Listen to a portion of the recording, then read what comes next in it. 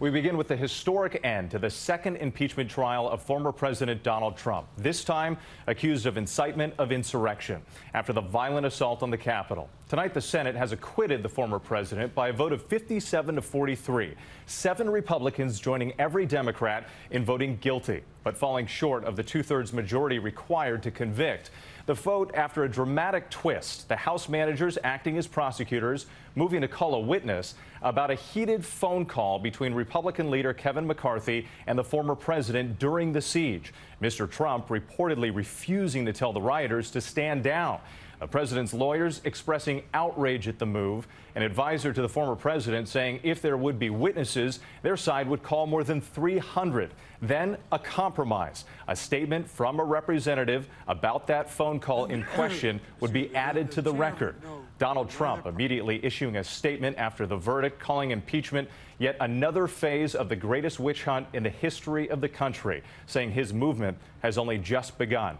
But then Republican Senate leader Mitch McConnell unleashed a blistering attack on the man he just voted to acquit. ABC's congressional correspondent Rachel Scott leads us off.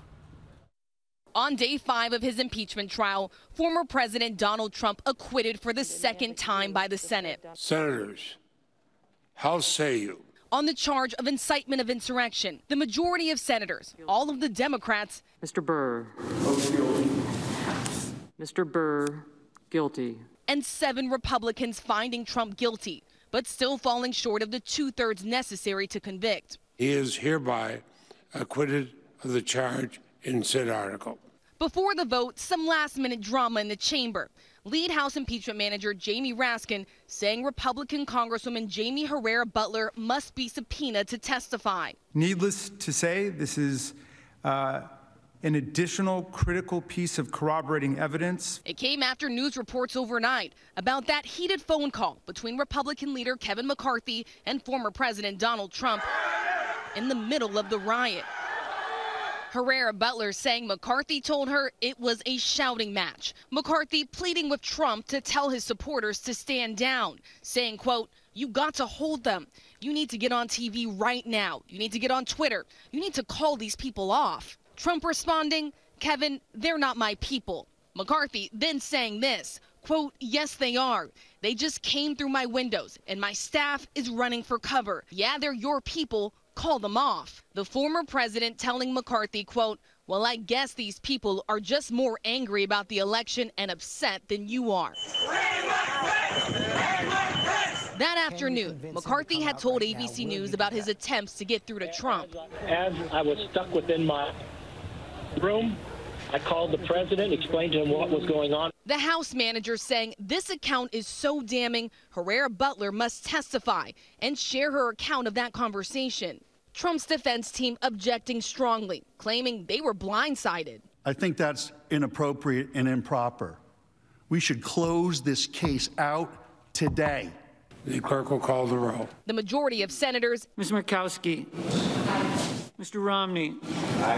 Including five Republicans voting to call witnesses, hear depositions, see more evidence. But the defense team erupting, banging fists on the table. There was confusion in the chamber. Senator Ron Johnson telling colleagues this should have been over by now. Then Senator Lindsey Graham. I'd like to change my vote to aye. Threatening to extend the trial even further, tweeting, If the body wants witnesses, I'm going to insist we have multiple witnesses. After debate, an abrupt change. There would actually be no witnesses, neither oh, side wanting a lengthy trial. Both sides agreeing instead to omit a statement from Herrera Beutler into evidence where she laid out that conversation. And then Democrats move forward with their closing arguments, making this impassioned plea. Senators, this cannot be the beginning. It can't be the new normal. It has to be the end. And that decision is in your hands. But by the end of the day, it made no difference. The outcome, what most Republicans predicted from the outset acquittal.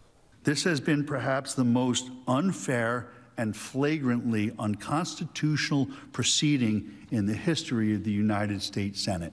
And after it was all over, perhaps the most forceful condemnation of Trump came not from Democrats, but from Republican leader Mitch McConnell. There's no question, none, that President Trump is practically and morally responsible for provoking the events of the day. No question about it. Those comments getting a lot of attention tonight. So let's get right to Rachel Scott, who's been covering this trial from the beginning. And Rachel, this was historic. Seven Republicans voting to convict a former president of their own party. We heard those blistering comments there from Senate Minority Leader Mitch McConnell, but he voted to acquit former President Trump. And tonight he tried to explain why. Yeah, Whit, Mitch McConnell not holding back tonight, but still defending his vote to acquit. He says it's unconstitutional to try a former president, but it's worth noting here that McConnell could have started the impeachment trial while Trump was still in office. And tonight, his words have Democrats outraged. House Speaker Nancy Pelosi calling it pathetic. Whit. All right, Rachel Scott, thank you again for all of your reporting on a busy week. Hi, everyone. George Stephanopoulos here. Thanks for checking out the ABC News YouTube channel. If you'd like to get more videos, show highlights, and watch live event coverage, click on the right over here to subscribe to our channel. And don't forget to download the ABC News app for breaking news alerts. Thanks for watching.